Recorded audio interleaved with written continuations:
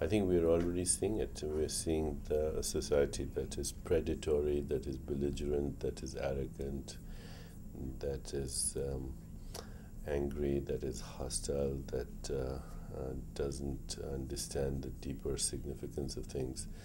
Um, the stuff of myth is the social conscience of a society. Artists are our conscience, and uh, when you have tyrannical regimes in the world, the first people they go after is artists.